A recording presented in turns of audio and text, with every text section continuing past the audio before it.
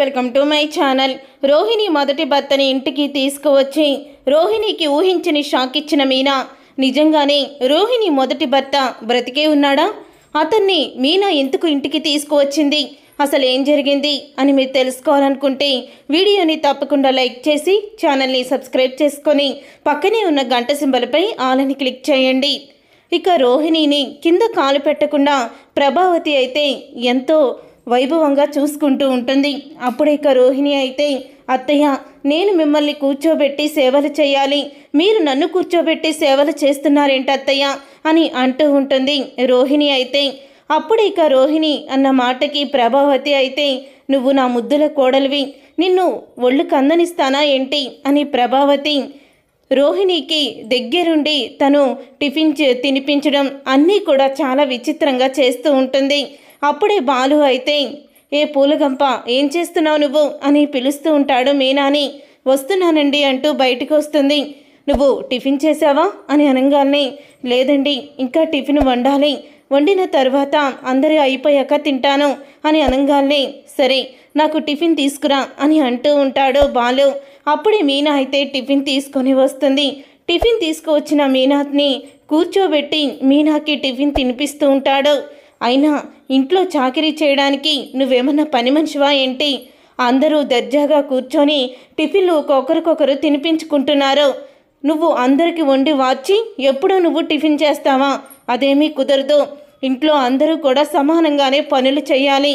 కాబట్టి నువ్వు కూడా కూర్చో. నువ్వు కూడా టిఫిన్ చేయని తనే తినిపిస్తూ ఉంటాడు. మీనాకి టిఫిన్ అయితే నా కోడలైతే రోహిణి బ్యూటీ పార్లర్కి వెళ్తుంది.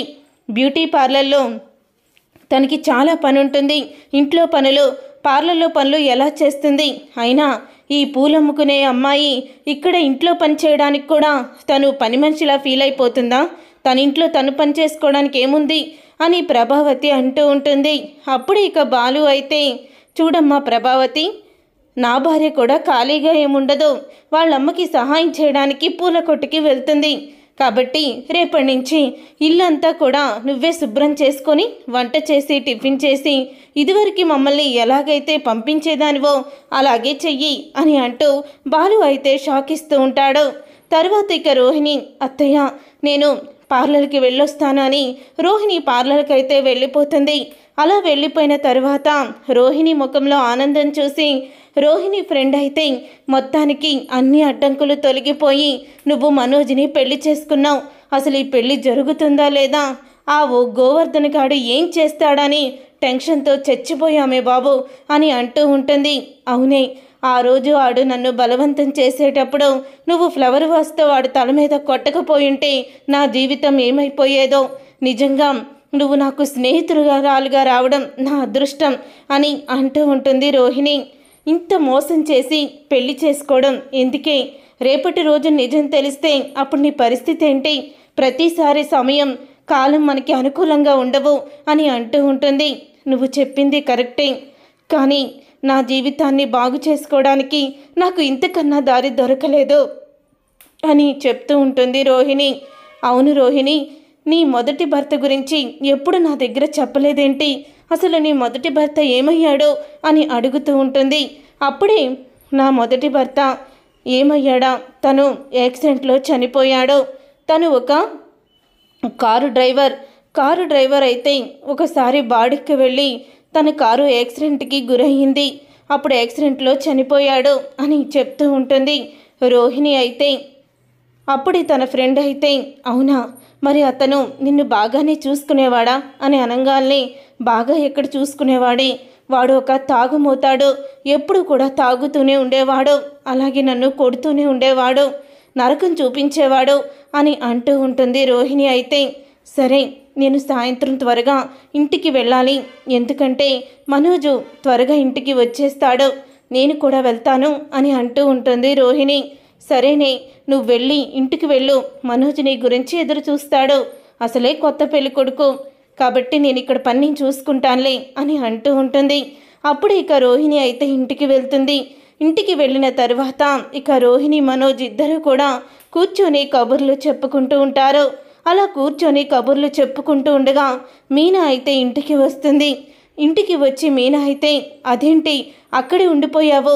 లోపలికి రా మధు అని పిలుస్తూ ఉంటుంది. అప్పుడే ఏ పూలగంప? ఎవరిని పిలుస్తున్నావు? అని అప్పుడే బాలు కిందకి వస్తాడు రూమ్లో నుంచి. అదా ఏం లేదు. ఊరి నుంచి మా మేనత్త కొడుకు మా బావ మధు వచ్చాడు. అంటే వరుసకి బావే కానీ ఎలాంటివాడు అని అంటూ ఉంటుంది మీనా అయితే రోహిణి ఇక్కడికి ఎవరో వచ్చారట. మనం ఎందుకు గదిలోకి వెళ్ళిపోదాం అని మనోజ్ రోహిణిని లోపలికి తీసుకువెళ్ళబోతుండగా అతనైతే లోపలికి వస్తూ ఉంటాడు. ఇక అతన్ని చూసి రోహిణి అయితే షాక్ అయిపోతూ ఉంటుంది. అతని కూడా రోహిణి షూ- చూసి షాక్ అయిపోతూ ఉంటాడు. వచ్చింది ఎవరో కాదో? రోహిణి మొదటి భర్త. ఇక రోహిణి మొదటి భర్త చనిపోయాడనుకున్నా. వీడు మళ్ళీ బతికొచ్చాడేంటి? అని రోహిణి షాక్ అయిపోతూ ఉంటుంది. అలాగే రోహిణిని చూసి అతను కూడా షాక్ అయిపోతూ ఉంటాడు. ఇక అతను కూడా ఇదేంటిది? ఇక్కడ ఈ ఇంట్లో ఉంది. పైగా ఈ ఇంటి కోడల్లా ఉందేంటి? అని ఆశ్చర్యపోతూ ఉంటాడు. మీనా వాళ్ళెవరు? అని అడుగుతూ ఉంటే తను మా బావగారు మనోజ్ మా తోటి కోడలో. పేరు రోహిణి అని అంటూ ఉంటే ఓ రోహిణియా నేను ఇంకా కళ్యాణి అనుకున్నాను అని అనగానే హే కళ్యాణి ఏంటి? అని మనోజ్ అంటాడు. తరువాత ఇక మీనా అయితే కూర్చో బావా అని అనగానే లేదమ్మా నాకు పనుంది నేను వెళ్తాను. నిజంగా ఈరోజు మీ ఇంటికి రావడం నేను చేసుకున్న అదృష్టమే అని అంటూ ఉంటాడు.